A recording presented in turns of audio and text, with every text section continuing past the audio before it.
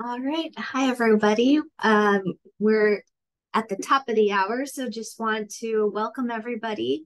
Um, we're asking that you all introduce yourselves in the chat, uh, right where you're from, and also what program you're from. Uh, so we wanted to just take some time to let everyone in, but also uh, Welcome to our After School in Native American and Tribal Communities webinar. Uh, we appreciate you taking some time out of your day to learn more about our initiative and hear our stories. Uh, so as part of the Secretary of Education's Raise the Bar, Lead the World initiative, the department is uh, prioritizing achieving academic excellence, boldly improving learning conditions, and creating pathways for global engagement. A key piece of this work is looking at parent and family engagement. Uh, so the department created the Engage Every Student initiative to provide high quality out of school time learning opportunities for every child who wants to participate.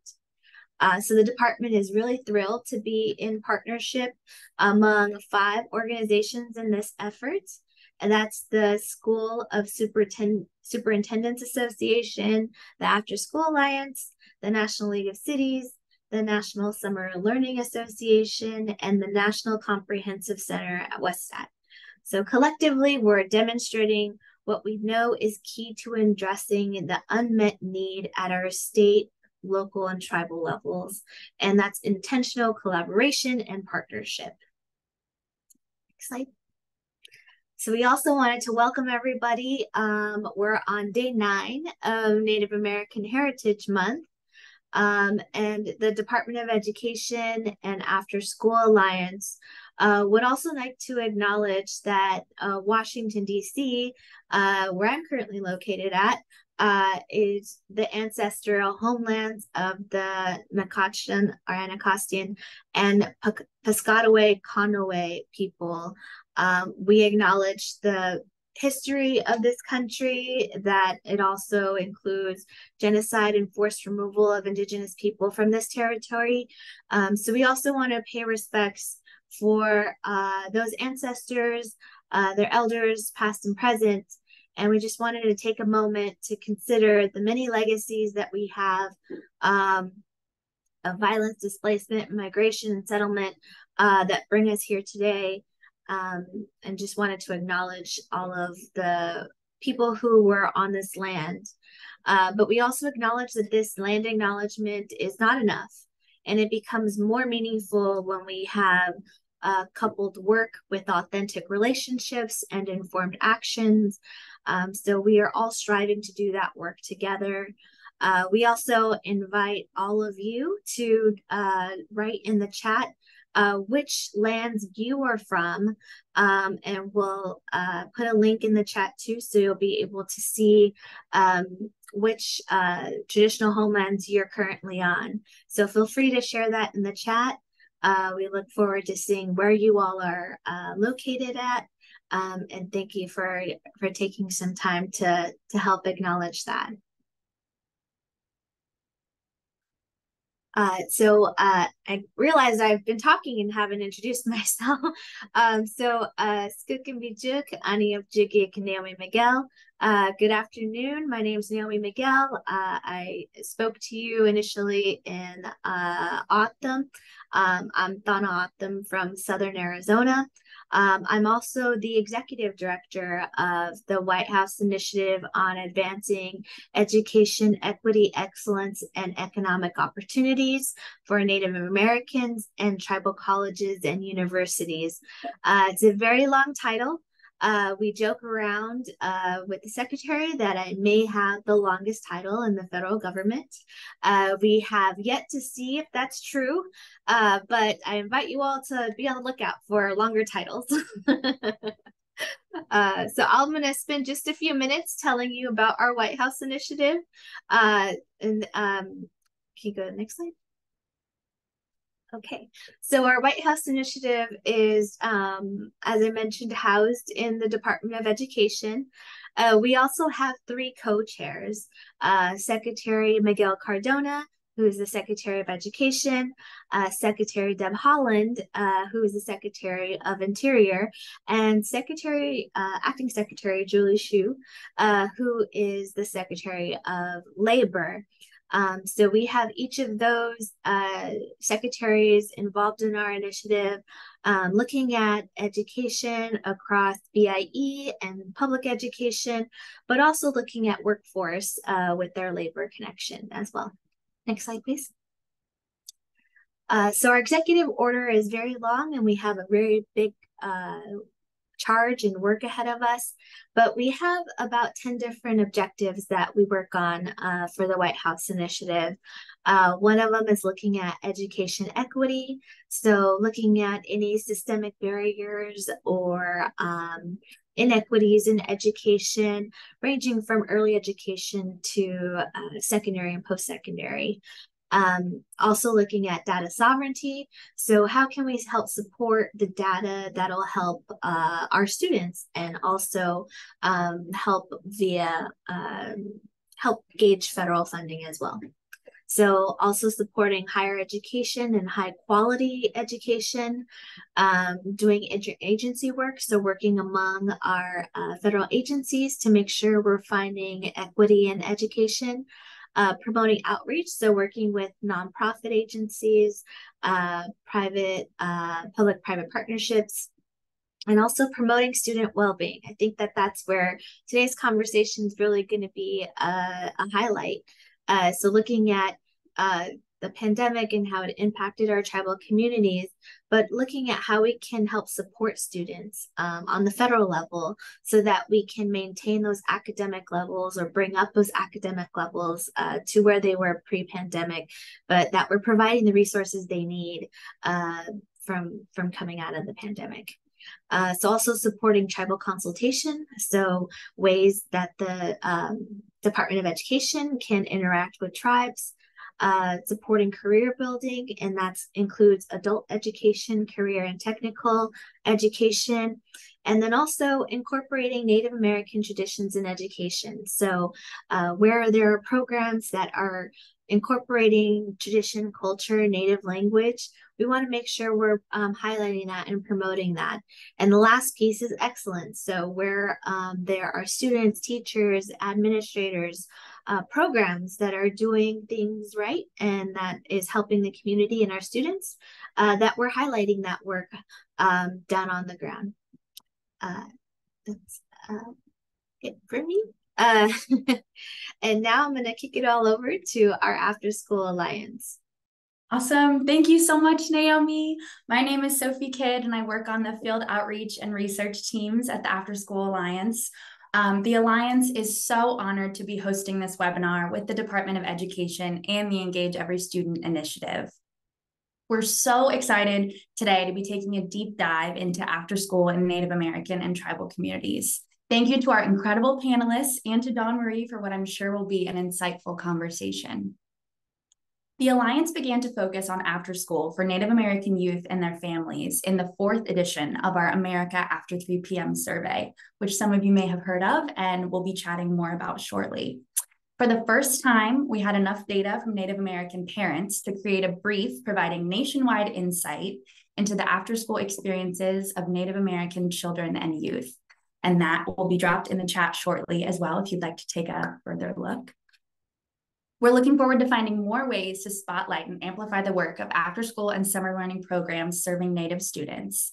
We hope this webinar today serves as a catalyst to spark more conversations, make connections, and foster relationships. And so next, I'm passing it over to the amazing Dawn Marie Johnson. Dawn Marie's full bio will be in the chat, but I just have to take a second and brag on her. Um, Dawn Marie is of Sisseton, Wahpeton, Oyate descent, and she's from Waubay, South Dakota. She now resides in Sioux Falls. Um, and in a historic achievement in 2023, Dawn Marie was elected as a Sioux Falls School District Board member, making her the first woman of color to hold this esteemed position. So, round of applause. Got to give her her flowers for that for sure. Um, and she was formerly employed as the Director of Leadership and Culture for the South Dakota After School Network. And for the previous two years, she devoted her time as the Career Technical Education and Community Outreach Coordinator for the Sioux Falls School District. Take it away, Dawn Marie. Thank you so much, Sophie, for that warm welcome. I'm so happy to see the U.S. Department of Education and engage every student partners, elevating the importance of after school programs for Native American youth and families. A little bit why this matters to me. So, a couple pictures displayed up here is one from my election night with my daughter, Rain she has been my why for most everything but as a mother having her to have access to quality after school care is incredibly important for me to do all the great things that i'm able to do in the middle, you'll see two young ladies that I've been fortunate to mentor for quite some time. One of them since she was in third grade and she's about to graduate. I feel so old but to be able to have this opportunity with these two ladies we were be able to be the first and only student panel on a mental health youth conference and they were able to shed light to what it meant to them to be able to have access to after school care and have access to mentors and have access just overall to more supports to get them through what's happening as a youth in today's society. So I'm so proud of those two gals. And um, from that work, I've been able to just highlight and give a youth voice because, as we know, every decision that we make, even from an after school and for me, a school board member, it the the true driver is the youth. We need to be listening to the youth. We need to lean into what they're saying. So some of the work that i'm really proud of is being able to feature youth like madeline and lily that you see in the picture in the middle. More recently i was able to do a really cool i call it a world tour with our stem trailers through the south dakota after school network and we took these trailers that were filled with really fun, engaging activities to powwows. And we were able to interact with kids during those during those times and just to see the light in their eyes glowing and how excited they were to have a woman who looks like their auntie show up and be like let's do some engineering i have full confidence that i met the next nasa engineer on this little world tour that we had going across all the reservations that summer. And it's something that I definitely wanted to highlight because it's through programs like this, it's through initiatives like this, after school programming, that kids get an extra opportunity to see something that they might not get to experience during school. So, a lot of my work has been inside school settings. I have 10 plus years working inside of a school in rural, urban, and reservation. So, I'm coming with a wealth of knowledge, but you guys, this this panel is I'm so excited because I've gotten to learn about the three people and you guys are in for a real treat to to experience what life has been like across the country and um, the importance of after school. So enough about me. Again, I'm so excited to moderate this panel discussion today. But before we go into that, I just want to offer up some context on what we know about the after school experiences of Native American families.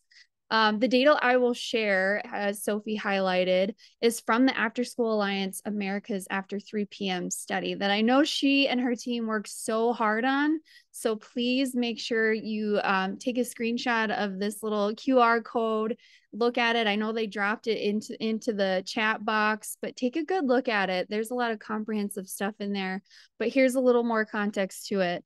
Um, after school programs play an important role in Native American communities providing support for children that include academic support, enrichment activities, uh, building relationships with peers, adults, health and wellness programming, um, and just letting students, especially Native families, get to be within their culture. Um, here's a little bit more brief overview of some points, but again, please be sure to take a look at that. So, among Native American children, and these two little gals off to the side, they were a part of my world tour. They were frequent flyers of the Sisseton powwow that I was able to go to this last summer. And I had so much fun with them building. So, I had to drop that picture in there. But among Native children who were not enrolled in after school programs, 45% would have been enrolled if they were available again, I grew up in a really small area in, in Waubay, and we didn't have an after school program. So this means a lot to me to know that there are things that exist now that offer kids like the two sweet gals you see in there those opportunities. And so this is so true outside of the school year. Um, 41% of Native American children would have been enrolled in a summer program if it were available. Native American parents were surveyed and they shared that they're looking for an after school program to be and in a convenient location that provide a safe environment for their students and they know that they are in the care of staff in a safe environment. And I'm really excited because we're going to hear from two incredible providers today. In after school programs, Native American youth are more likely than other racial or ethnic groups to receive homework and academic help, take part in a physical activity, engage in STEM and learning opportunities, and they have the opportunity to build life skills and receive a healthy snack or meal. More than four in 10 Native American parents reported that their children's after school program does not include cultural programming. However, programming aligned with family values is something that Native American parents and families shared was essential. 69% of respondents said it was either extremely or somewhat important for a child's after school program to share their same fam- family values. I definitely fall in that category. Native American parents with a child in a program agree that after school helps them keep their jobs. Again, I can't say this enough.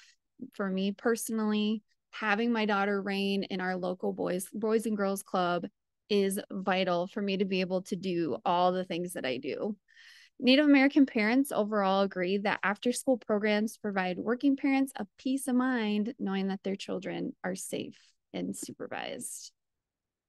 So barriers to participation have grown. Um, access, convenience, cost, those are great barriers to after school participation. And the percentage of Native American families facing these barriers is increasing. So, growing up in a rural reservation town, there was not a local YMCA, alone fresh groceries within a 45 minute drive. So I can definitely speak to the importance of having this access and what it means to children in today's society. Uh, next, there we go. Native American families highly value after school and summer experiences for their children and have a high level of support for public funding for after school and summer learning opportunities. So I'm going to turn it back over to Sophie. That was just a brief overview. Again, be sure to check out that comprehensive look at America After 3 p.m. Awesome. Thank you so much, Dawn Marie. That was great. So now we're going to take a second to get to know one another before we uh, hop into an amazing discussion. So what we would love for you to do, we're going to use a platform called Mentimeter. So log on to menti.com or and use that code that you'll see right here or click on the link in the chat box. And I'm going to go ahead and share my screen and show those results.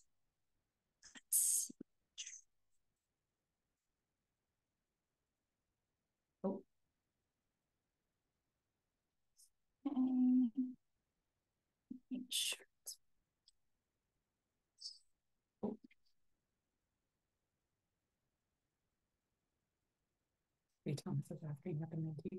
Oh, yes, the Menti code.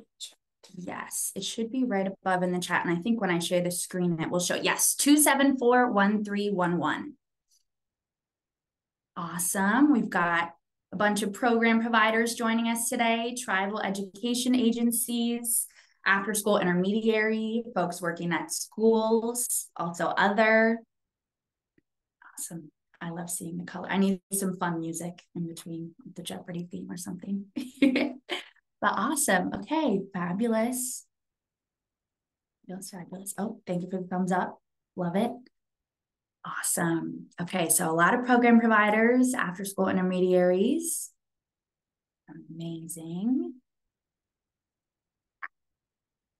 Okie dokie. And now I'm going to switch to the next question. I think. Perfect.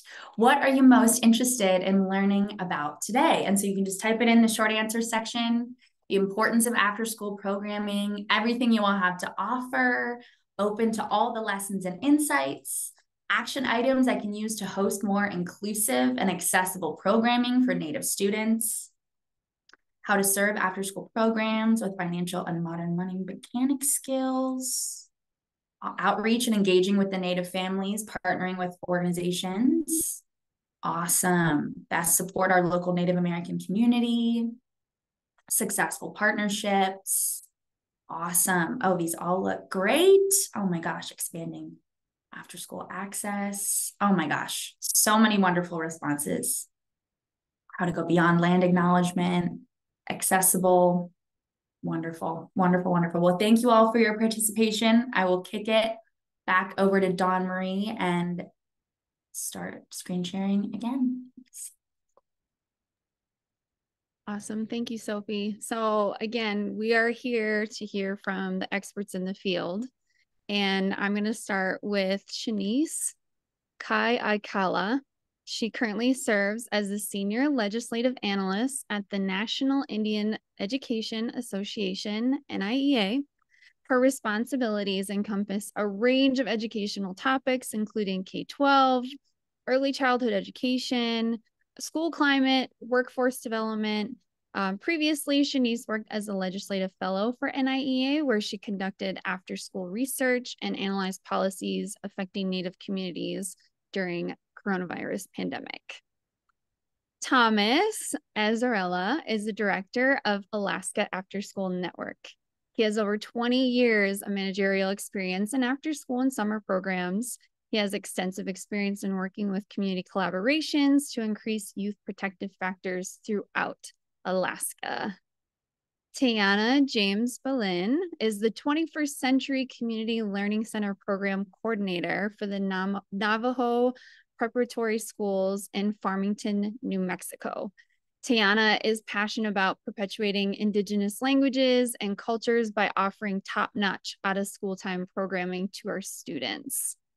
I want to give you guys, you three, the time and space to share a little bit about yourselves. And if any extra introductions you'd like to do, I'd invite you to do that now. So tell me about yourself, the role you play in after school, and really what motivates you to do this work. Why don't we start start with Shanise? Of course. Um, aloha mai kako o Shanise Ka'aikala ko inoa, ma kahului mai yao, ma wahine kona desi ike manawa. Um, so my name is Shanise. Um, as Dawn Marie mentioned, um, I'm Native Hawaiian, um, and I serve as a senior legislative analyst for NIEA, um, based in DC. Um, I'm very grateful. I feel like this conversation is um, kind of close to home because I am very grateful that I'm back to be in Hawaii, you know, with my sister and uh, my new nephew. Um, and I think that is kind of the main motivator that drives me, um, as well as my personal experience growing up in Hawaii. Um, it's very unique com- um, compared to the lower 48. Um, um, and yeah, as I mentioned, you know, I jumped in um, bringing my own experience as a child kind of seeing you know some of the um, opportunities that were afforded to me and really taking a look at what my experience in after school time was personally as well as summertime um, especially as a um, a native youth. And um, jumping into after school time has been very fulfilling. Um, i primarily have been researching different policies as well well as conducting surveys uh, with my colleague on what after school time looks like and realizing there are so many different gaps that kind of overlap with existing education issues. Um, and being at niea trying to figure out how we can be more supportive you know. I think that after school time is a bigger word for the work that um, our native communities are already doing. Um, you know, after school time touches culture, it t- it touches language, um, being engaged with your community. Um, so I will leave it at that um, and uh, look forward to the rest of this conversation. Yeah, I have to send huge shout out to NIEA and Shanise's team, they were uh, they hosted a nice get together for after school professionals just to be in that sort of space and to be welcomed in that sort of way. You know, oftentimes as after school professionals, we're not seen as educators and to be welcomed and to be able to collaborate and really build bridges and connect with NIEA was so special. And we're really glad that we were able to start this great work and continue on. So I'm so glad to have you here and to get your perspective on things. Um, next, I'm going to turn it over to Thomas, who is apparently just pummeled with snow. Can I say that? Is that a bad word? Go ahead, Thomas. It's a real thing. We have our first snow day here in uh, in Alaska um, today. Uh, my name is Thomas Azzarella, uh, and so uh, I am the dr- executive director of the Alaska After School Network. So we are a statewide coalition of over 360 out of school time partners from around uh, the state of Alaska, and we are a program of the Alaska Children's Trust. So I want to start off by uh, just saying, first off, uh, I am here in Anchorage on Dena'ina land, uh, and that we work across the entirety of uh, the Alaska Native peoples regions, including all uh, 200 and I think it's 231 federally recognized tribes uh, here in Alaska um, that we are working and supporting uh, with. One of the key things I want uh, to share in my introduction as well is I recognize uh, I am a white male. Um, I am originally from Buffalo, New York. I'm not originally from Alaska, and Alaska is my home. Uh, and I really deeply believe uh, in the work that our organization, both the Alaska Children's Trust, our parent organization, Alaska After School Network, is doing, really to take a step back and reflect to see what are ways that we as an organization, uh, especially a white Western organization um, inside of the education sphere, uh, is both either perpetrating uh, uh, harm and challenges and pushing uh, Western ideology, uh, ideals and practices um, uh, into our communities, but also ways that we need to undo uh, that historical trauma that has come from the education system. Uh, and really think strategically and listen strategically to our uh, tribal partners and our tribal youth around uh, how we can do better and oh, we need to do better uh, as a collective. And I think that's a lot of what today I'll be sharing is ways that we as an organization are uh, listening, thinking, and doing differently um, to really support and meet the needs of our tribal communities, especially our tribal uh, youth here in Alaska. Um, and that includes really broadly, we have a large Hawaiian population and Samoan population and Pacific Islander population in Alaska as well. So we recognize that uh, when we are doing this work, when we are uplifting uh, Indigenous youth and supporting Native communities, that this is the right work as our organization really pushes forward to, to ensure that we have greater uh, representation and access of after school for all young people. Thank you so much, Thomas. Uh, one toolkit that Thomas and his team has on their website, I hope you're able to share it and I hope you don't mind I'm talking about it. But more recently, our Orange Shirt Day, they have a comprehensive toolkit showcasing Orange Shirt Day, which I valued so much and I used and I shared out to my whole school district and they found a lot of value in that. So thank you so much. Um, and last but not least, Teahonna, would you please introduce yourself? And I think you have some slides to share because you have some unique, incredible programming going on with your preparatory school. Thank you so much. I'm so grateful to be here. Um, Sha'e Teahonna James Belinyanisha, Bilagana Yanyadi Klinkit Nishle, Kline di Klinkit Bashichin, Bilagana Dashache, Denena Hatloni Dekina Haida Dashanella, Credo Cloac Alaska Andik eh Shiaho Ak Ego. Um I just wanted to do my my Diné introduction first um, because that's where I am currently based. Um, I also want to share my Tlingit introduction with you all. Anyat Usani Ashk Edwoods Yuchatu Asauk. Ah, Blake ag éna Teahonna James Blin hiú chatú. Asag. Link ayachat gut nach hatsatí Janédí ayachat. Klinket tá dach ayachat acu andach ayachat. Línédí adí ayachat. Wasán quán dat chan ayachat. ach dakanuhu ayagunana kadekina kuskidi uh gunachish gunachish. Um so my I'm gonna go ahead and share this too. Um, my my paternal my maternal grandparents are Patsy Ethers Neal and the late Patrick Neal. My um, paternal grandparents are the late Rachel Demert and the late Gordon Ralph James Sr. My parents are Mary Ann and Gordon Ralph James Jr. And I was named after my great great great aunt, um, Romaine Demert. And so, um, again, I'm I'm Tlingit and Athabascan um, from Southeast and South Central Alaska. I grew up on the Puyallup Reservation in Washington, um, and I currently reside um, in Dinétah in uh, Farmington, New Mexico area. Um, and so I just want to say thank you again. I'm, I'm truly grateful to be here. And um, again, I work at Navajo Preparatory School in Farmington, New Mexico um, which is a certified international baccalaureate world school, um, which means um, that our students are eligible to acquire a globally recognized diploma. Um, and we're one of the few IB schools, um, Indigenous IB schools around the world that serve, serve primarily all Indigenous students. Um, and so um, sorry, I'm a little nervous because I'm super, I'm very, very, very happy that this is happening. Um, and currently our school is actually working to get Diné language um, recognized as one of the um, languages that counts under the IB.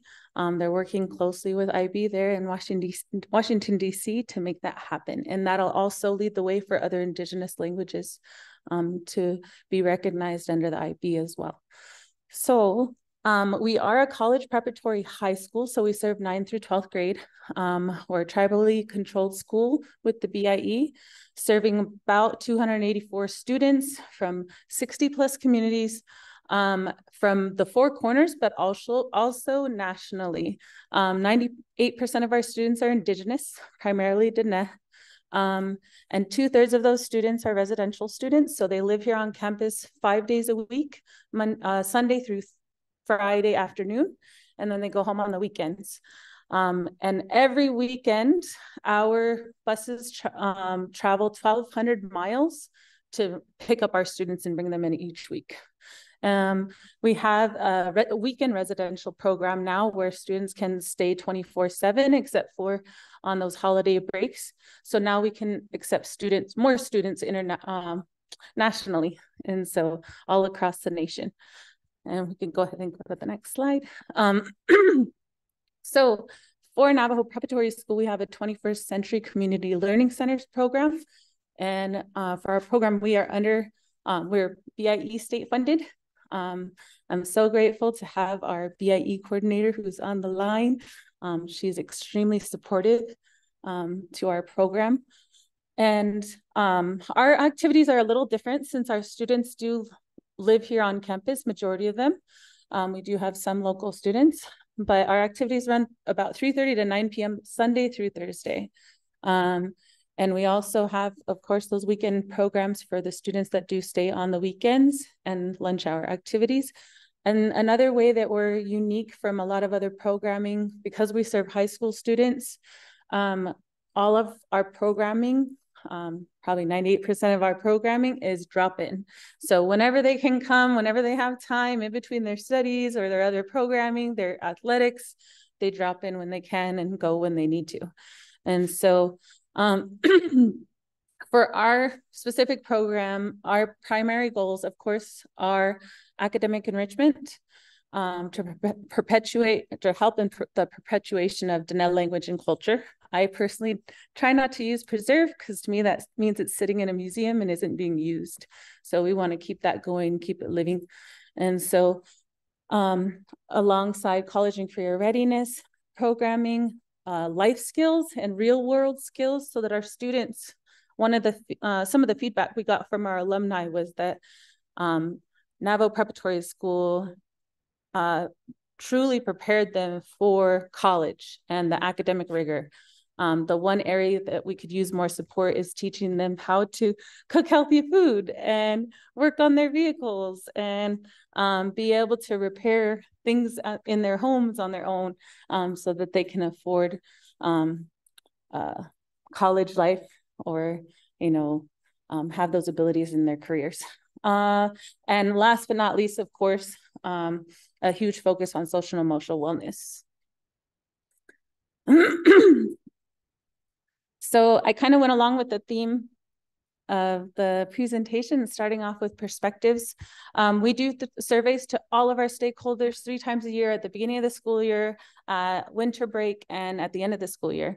And we take all of this feedback extremely um, seriously. And so we try to implement everything that we can um, to help us identify the areas of need, you know, areas that we can improve on, guide the program initiatives using our grant goals. That's always our focus. Um, and then the biggest thing though is we really try to prioritize and encourage and strengthen that student voice. Um, we we try to make sure that students know, hey, you can come to us anytime with a suggestion and we will do everything we can to input that right away. Um, for the, um, sorry, one of the things that I feel like we do that's pretty unique is we recognize that we have a wealth of knowledge right here within our community. And so we try to invite all stakeholders, students, staff, families, alumni, to come in and share community members their area of expertise. And so um, we get some amazing uh, presenters um, through those invitations. Uh, and then all of this together, and I, I wanted to make sure, you know, of course, these are our stakeholders here on the left-hand side, the family, academic staff, non-academic staff, residential program, and our community and our alumni. And all of these entities have a huge impact on our program. Um, there's so many of our non-academic staff that contribute highly to our after school programming. Our IT program provides um, uh, all things like technology activity after school. That's amazing. So we can go to the next slide. Sorry. So for each of the areas of our focus, this kind of gives you an idea of the types of programming that we have. Um, I'm not going to list all of them because I could spend a lot of time on this, but if you have any questions, feel free to read through. Um, a couple of the favorites I would love to share is um, we have culture night every week um, at our school um, and a lot of other additional cultural programming um, mixed throughout. But right now, every year, or right now, every Tuesday is our culture night. And each culture night, we uh, make sure to integrate cultural foods and um, teach them how to make one of a, a, small traditional food item. And occasionally we'll do more of a stew. Um, and then another program we started this year is called Hashta. And um, it means we're preparing ourselves. So the goal is that our students, if they were to attend this program throughout the year, um, they would have full traditional dress from toe to head. Um, and so, and they'd learn how to make all of that themselves. And so hopefully by the time they graduate, they have four sets to take with them off to college to um, to keep with them, to keep to bring home with them, but also um, in Diné philosophy, um, your the traditional dress, of course, all has a purpose, and there's different things that are um, part of it that um, serve as protection for you and help um, help you in your life. So um, those are a few. I'm trying to go down the list really quick. Um, another one that I was asked to emphasize on is we have um, a natural helpers peer-to-peer support group here at Navajo Preparatory School that is a, a state um, program um, that we've we've taken on here at Navajo Prep and it's a peer-to-peer support program where our students, those that are selected by their peers or by staff as natural helpers, that they naturally want to help those around them, they are, um, um, they're trained in what is essentially QPR, which is question, um, persuade, refer, and um, but for a youth version, and so that they can know the signs and be able to recognize the signs of a student that who may who may be having thoughts of suicide. And so they know how to ask the question how to um, recognize those signs when to refer to an adult is the biggest thing when to ask for help. And so because um, there's a lot of studies that show that students will turn to their peers um, before they turn to an adult. So um, these students have been crucial in in bringing um, peers to uh, the support staff here, um, our counselors, um, when they do need that extra help. So I think that'll be it for now. If you have questions on anything else, I'd love to share more. Yeah, what I've grown to really appreciate about you, even knowing you in this short amount of time, is your passion always comes through. And when you start talking about the programs that you guys offer, I mean, everything that you've done and just shared is so incredible, and those kids are so incredibly lucky to have you as your as the director of that. But what I want to hear out of all the things you just mentioned, which are all so incredible, what are you most proud of? And maybe there was something that you didn't even hit on yet, but what are you most proud of of all the programs and the connectivity you have and the leaders you're seeing step up? Like what's what's the bright shiny thing that you could give us right now i think i definitely i'm extremely proud of our our cultural programming but mostly because of what it's bringing out of our students and mm-hmm. so um, we have a really solid group of students and it just continues to grow um, and evolve and change constantly um, but i feel like we are definitely um, preparing our future leaders. And one of our our motto for our school is Yirisk Ago Not which is loosely translated to leaders now and into the future. And so constantly remembering that we're we're preparing our students to be those leaders for our communities. And so um, when I first started here at Prep, and I said I wasn't going to mention him, but my other half also um, works here at Navajo Preparatory School, and he's our Diné Bizaad Institute coordinator. We started at the same time, and when we first came here, um, you know, a few people, a few students would wear their traditional dress here and there, or for our traditional dress days, which is on Wednesdays. Um, but now it's any day of the week.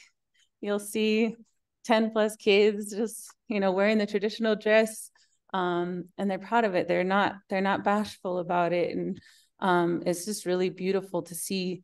Um, and uh, we have students here that are such big um, helpers. They have huge hearts, um, and and it really is.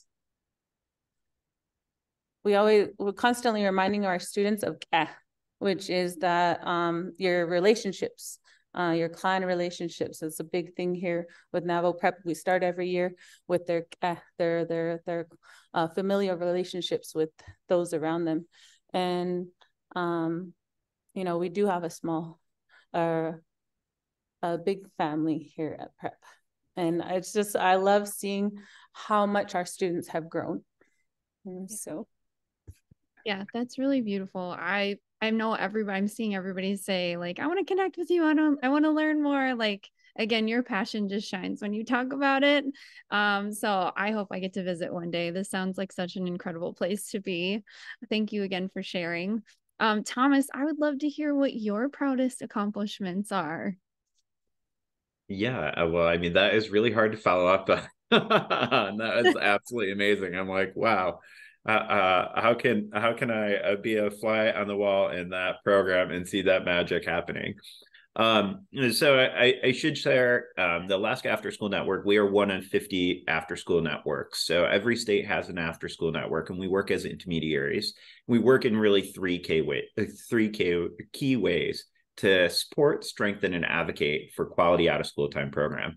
That role around support is really being that centralized convener and catalyst inside of the field. So for us, what that looks like inside of supporting our native and tribal communities is around how do we uh, help connect programs, uh, you know, both tribal and non-program uh, non-tribal programs together to be uh, able to share and learn from each other. We spend too much time the out of school time space reinventing things where we know there are great practices. So a part of our role as a network is to help lift up those amazing practices that are happening especially in many of our tribal communities and rural communities and share those with others and connect that other role that I mentioned is around strengthening. So that piece around really how do we increase the professional development uh, uh, for after school educators, and how do we ensure that education and those trainings and those workshops are culturally responsive to the unique cultures of our students, especially our Alaska Native uh, and Pacific Islander uh, students as well.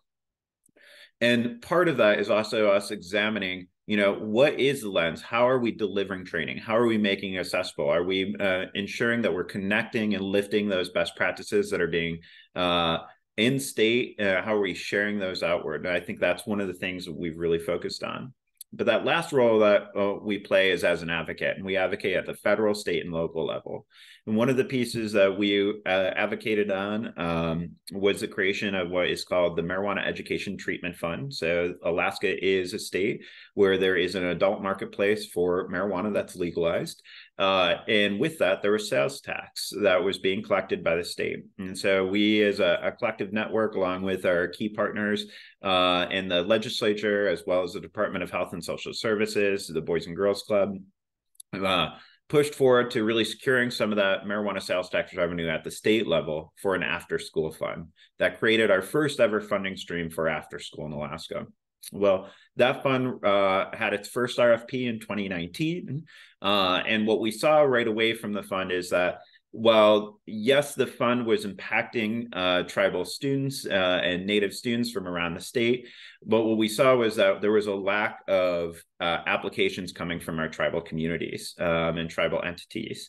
And so, with uh, uh, with the Department of Health um, in this last round of our RFP, uh, so the state administers this grant program. It's 1.8 million dollars that goes out for after school there was now a tribal set aside that was specifically uh, to helping fund uh, tribal tribal programs and really open opening up that ability and creating space inside of what is a very white and western way of us funding programs of here's this grant you have to apply for and here's all these portals and things like that was that we were even the, as a first attempt to create space for this is a funding uh, opportunity specific for tribes and do outreach on it. I'll say we have a lot of work to do still on that area. We know that we have to, in the next round of the RFP, we still didn't see the uh, turnout we'd like to, despite the high demand for funding inside of our tribal and rural communities. Um, we know that we didn't see as many applicants as we like. And now we're in that process right now of looking through with the state of what are ways that we can actually change grant language? How can we do a better job of helping support, especially uh, many of our smaller tribal communities that may not have the full capacity of some of our large tribal corporations to be able to have a grant writer? But how can we help do more mentorship and support um, over the next several years to help ensure that those uh, programs or entities and communities that weren't funded have an opportunity to be inside that funding stream. So while I'd say that's the thing I'm most excited about that we have a funding stream that is acknowledging and supporting uh, tribal after school program. And really, after school for us, we have a broad definition. That means culture camps, it means uh, fish camp, it means engaging kids in uh, learning language, in dance, and really helping. The next round of this work is really in the next, uh, the next RFP will be out, unfortunately, in three or so years uh, but really looking at how do we re-envision how we can change the language to ensure that it's more relevant to our tribal communities to make sure that that funding is getting directly out to programs. I think that to me is both a success and it's an opportunity for us to keep learning um, and to connect further uh, with our tribal partners to really look to see how can we ensure that that not just the programming is relevant, but the funding stream is culturally relevant and congruent with the needs of our community. So uh, that's an opportunity to grow more. Yeah, thank you for all that. I've been to several conferences, network conferences, and Thomas is definitely a go to guy. You see the beard and you're like, there he is. So it's nice to have you here to share these insights. And it was great to hear from Teahonna at more of a ground level working with the kids. Thomas, here we are at the state level. Shanise, I want to hear on your national perspective, like what what's one thing you're really looking or excited to share about your proudest accomplishment? Yeah. Um, so of course my background has been very policy driven and focused.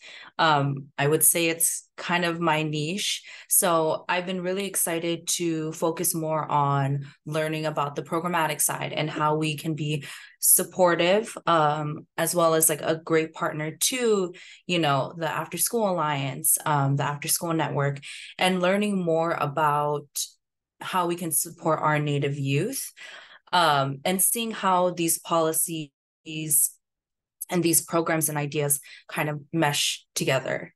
And I think um, the most exciting thing would have to be hearing from our members and um, within NIA, but also like our partners and our community members, seeing how we can um, collaborate and foster more partnerships. Um, I think that you know, as Native people, we're stronger and our Native allies, um, we're much stronger when we're in numbers um, and we're all on the same page. So it's been amazing to um, learn more about the after school time space, um, be able to meet people. We just had our convention. Um, being able to build relationships and kind of grow ideas. I know that um, I always talk to my friends um, and my colleagues about, you know, learning about their native languages and their like cultural practices and their histories and seeing how similar, you know, as a native Hawaiian, um, you know, the the mo'olelo or the stories are very similar. Uh, and just being able to see what after school time our native communities, our native keiki children um, what that looks like within the next five to five to ten years. Um, so i think just being hopeful about the future and being able to engage and you know make known that like after school has always existed this research has always existed and just like putting it on paper. Yeah. Yeah absolutely. So we've heard our highlights Thomas and Teahonna, I'd love to hear what some of the main barriers that you guys are encountering with American Indian, Indigenous youth, and families when it comes to accessing after school programs in your community, your state. What are you seeing? And then, Shanise, I'd love for you to follow up in your opinion. What sort of resources could NIA support in breaking down those barriers?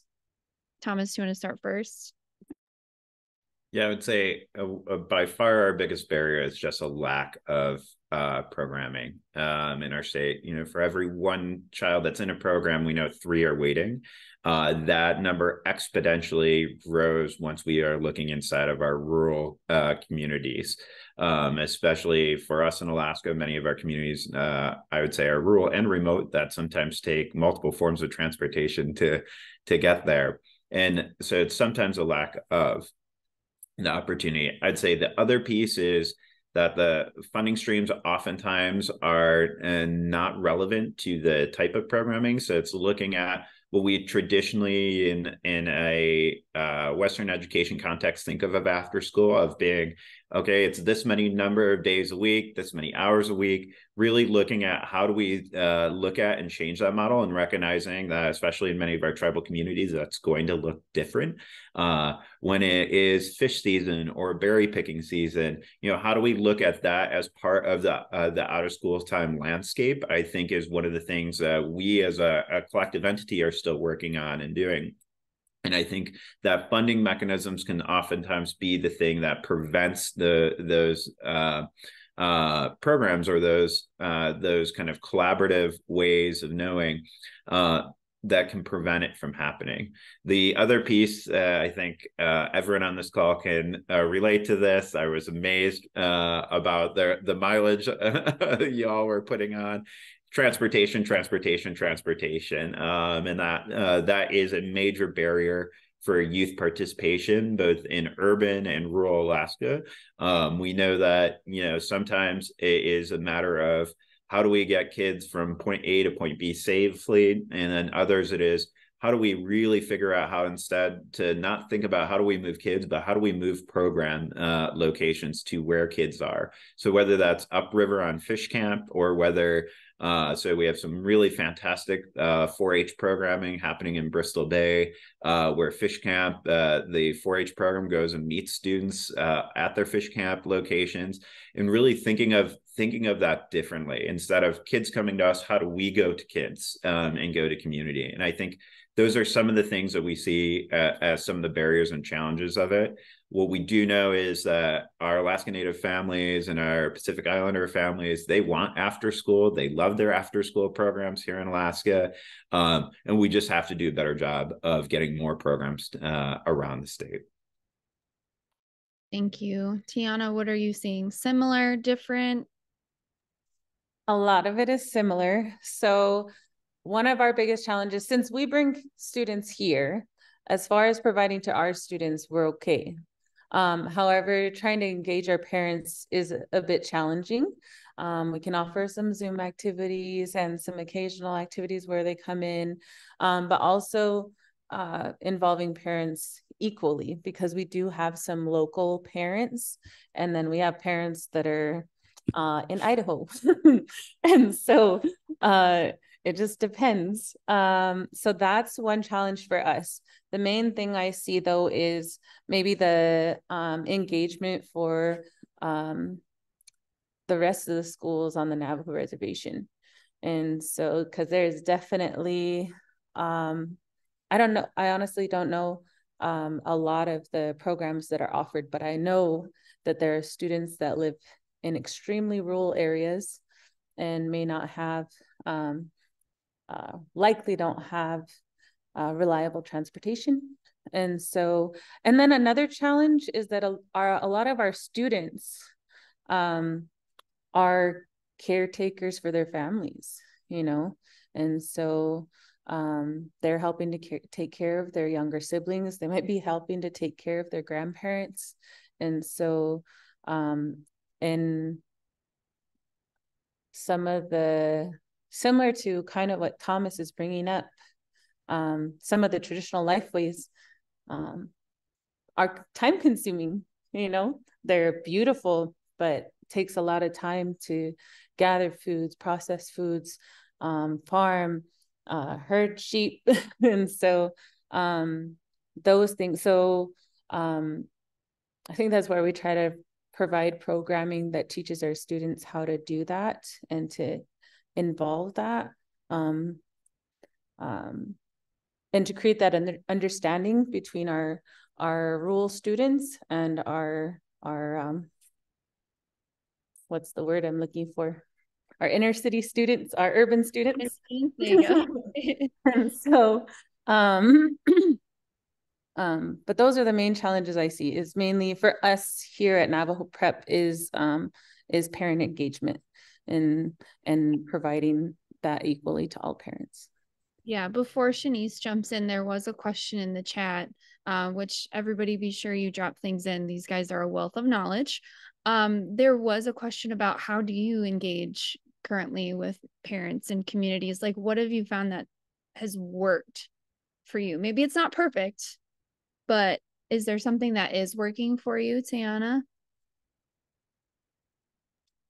So for me, one of the biggest things, again, it's not necessarily equal just yet, but um, and it's been maybe it's one parent at a time as far as um, that request to parents to come and share their expertise. Um, so we've had some some parents come here and run a run a program after school on a weekly basis, mm-hmm. um, mm-hmm. really providing a lot of value. I I think to the program. Um, so that's been one way. um, and to really build a stronger relationship with those parents. Um, that is the main area that um, our program is really trying to focus on this year. Um, but even just uh, two days ago, we had a Native American Heritage Month uh, round dance that we did um, so that our students can learn teachings from other other regions as well. Um, and we had some parents come out for that. And it kind of worked out that we ended up being so this is something new i'm learning is it ended up being right next door to um, uh, our basketball or uh, volleyball games. And so we just kind of told everybody come on over you can come over here too. So um, uh, maybe using the sporting events to to help us out as well. And so um, that's an area that's really worked. Um, and then lately, we've just been sharing with parents. Um, you guys are welcome to come and take part whenever you want to. Like you're, um, this is for your students, but you being here with them is is beneficial to them too. So come on over. And so a lot of the times, the parents seem parents guardians seem to really like like the crafting crafting activities, the cultural activities too, because um, there's a good amount of them that didn't didn't grow up with that either. And mm. so or they're just proud to see that it's being taught here um, for their students as well. So yeah absolutely. I do want to correct myself. I get caught up in saying parent and i'm learning to say caregiver because all families look different right?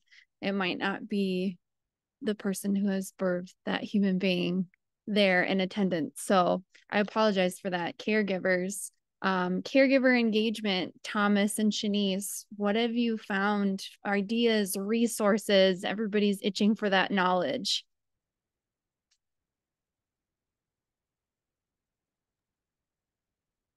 Um, I think what we found, at least in the research that we're conducting, is I don't, I've never been a fan of math, but to put it in an equation perspective, right, is like you can often i guess sorry let me just retract my statement. Growing up um you know i would always go to play sports um and my family members who took care of me my grandparents had this idea of after school time as dropping off the child and then i'll see you in a couple hours. And realizing that the success at least um within the child mentally and physically how important family engagement is. And I know, Dawn Marie, you mentioned that every family looks different, but to really fully get, have the child to experience and embrace the success of, um, you know, internally within themselves, you need to have families involved. I think, you know, a lot of the time our children are in schools for so many hours. Um, but you know prior to them going to school uh they're with their families um the entire time. So you know it's just the ex- after school time i see it as an extension of the home. Um so the engagement is extremely important um, especially when we have conducted you know survey and research within our focus groups. Yeah especially for working parents if their schedules are in the evenings that student is spending. I think Teahonna, your group goes until about nine o'clock at night. That's your family for the evening. So I love that you incorporated that looking as after school as family too. Um, that's incredible to highlight. Thomas, do you have any insights, tips, tricks? Yeah, I would say know? We have learned a lot from our uh, program providers and from our tribal partners around the state around this. So, uh, as as we all know, with many things, food is a driver uh, to get come out. So many of uh, especially our rural summer programs uh, they will provide free food uh, for the entire family to be able to come in uh, using the summer meals program uh, it is looking at you know making announcements on the village uh, you know public radio station or over the the you know, through the variety of ways that communities and families hear about things. It's very different than the way typically a school communicates uh, to families.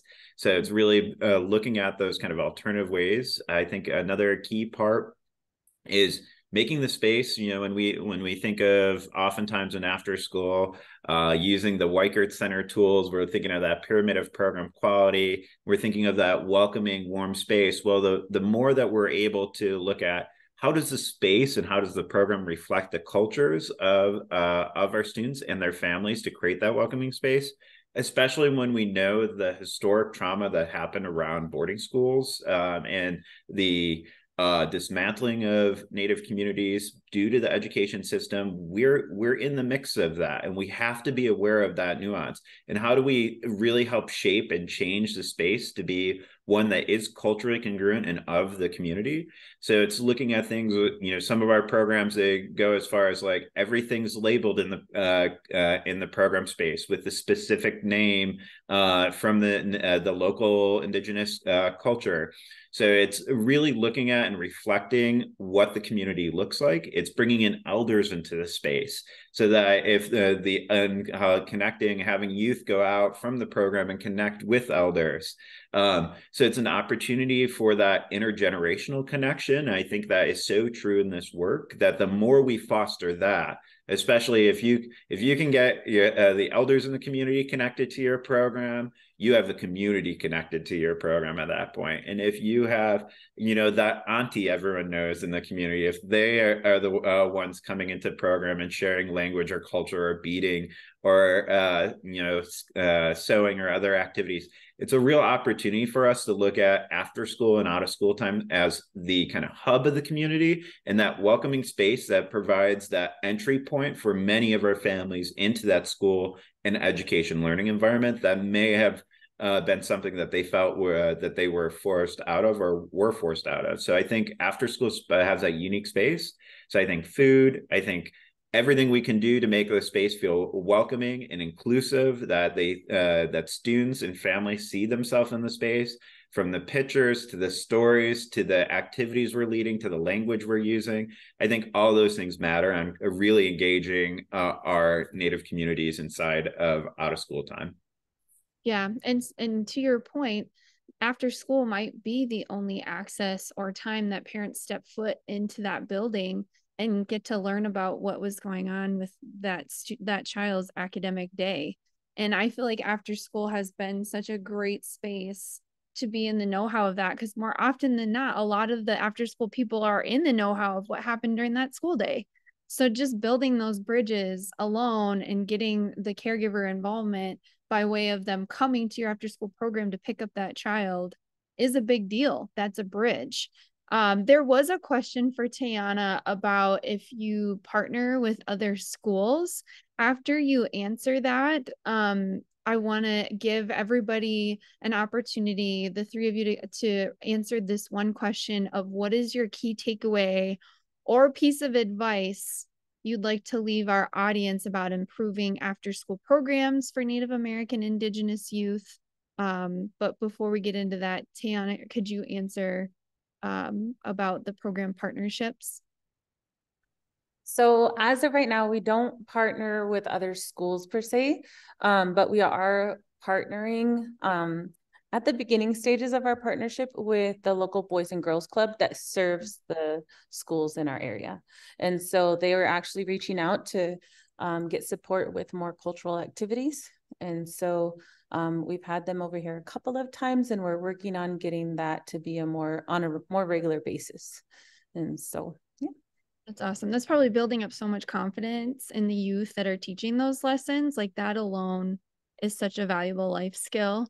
Um, so to ask the question again, final thoughts. Um, one key takeaway if people could just listen to one final thing and take one thing out of this whole session, I'd love to hear um, what each of you think about for improving our after school programs for Native Americans and Indigenous youth. So let's start with Shanise and then Thomas, and then we'll round out with Teahonna. Um, I think one piece of advice would be that